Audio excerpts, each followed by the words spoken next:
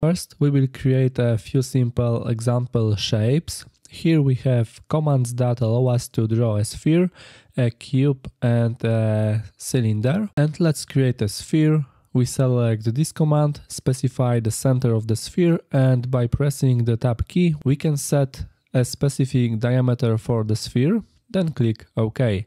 This way we have created a sphere with a diameter of 50 millimeters. And when it comes to creating a cube, we have a command that allows us to create a cube from a corner. We specify the corner of the cube and by pressing the tab key, we specify the side lengths of the cube and press enter to confirm. And now we can specify the height of the cube. We also have a command for creating a cylinder.